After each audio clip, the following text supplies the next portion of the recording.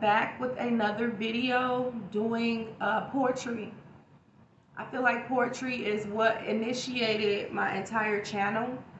And so I'm trying to find a way to get back to it. And being that it's one of uh, the many things I focus on, there's a message uh, displayed in this poem.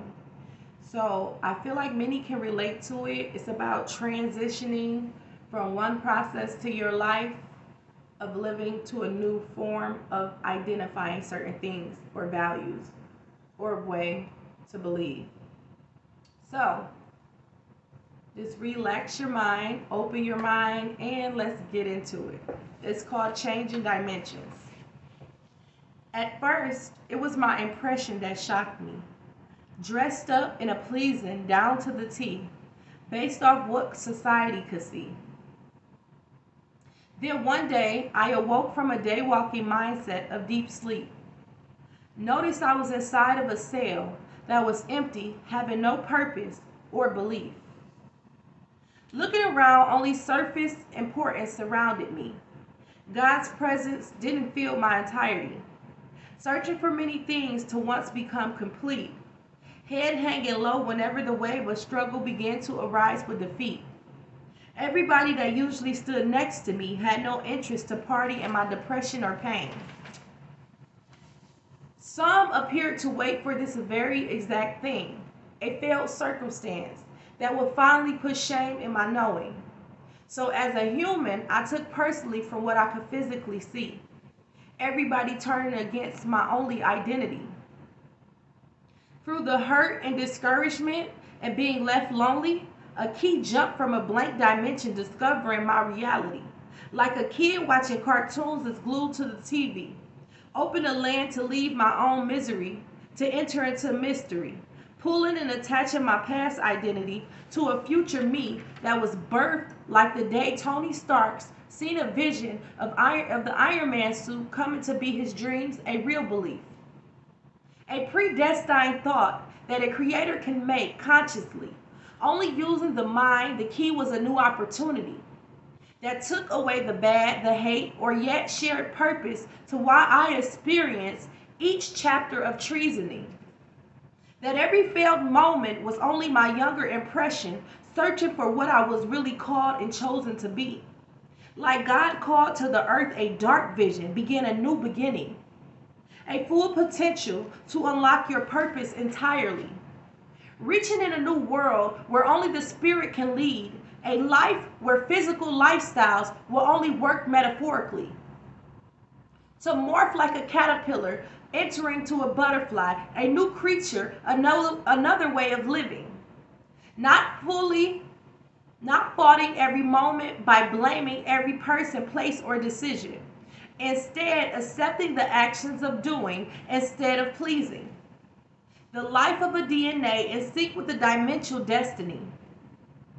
The land flowing of milk and honey, just like Jesus promised the kingdom would be.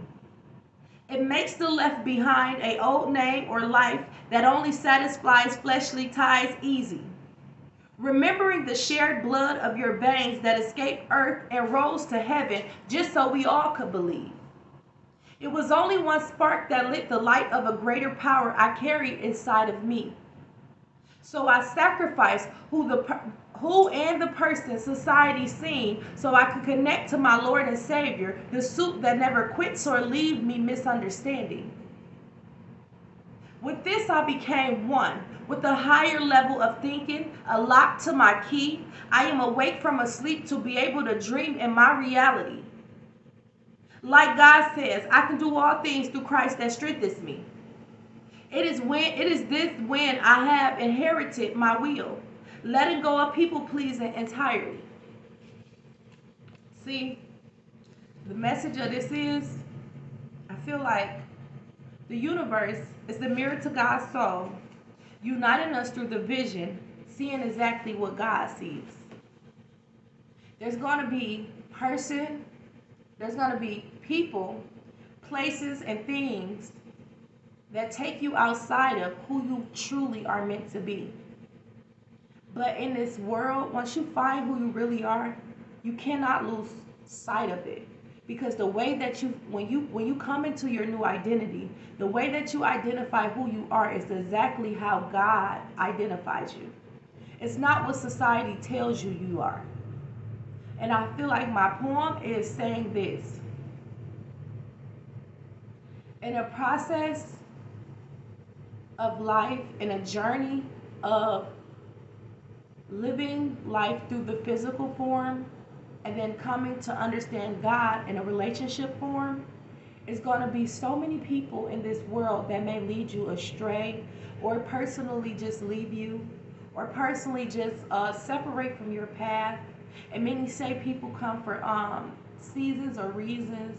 So it's like in this life, you cannot allow defeat to overwhelm you because your person inside of you, your spirit form, is already on an agenda to to find yourself, to find and make you become complete with who you really are. It was never God's well-being to make you feel like you are supposed to become crippled. You feel me? It's not God's agenda to make you feel abandoned, to make you feel less of yourself. It's not God's agenda. And so in the experience that we go through, we still will have circumstances that make us feel like, just feel like we are disconnected a little bit, that we don't belong a little bit. But it's all in a greater, greater, greater, greater plan that will allow you to, to, to, get, to grab a hold to a key a key that will unlock everything that you always wanted inside of you that only you can do.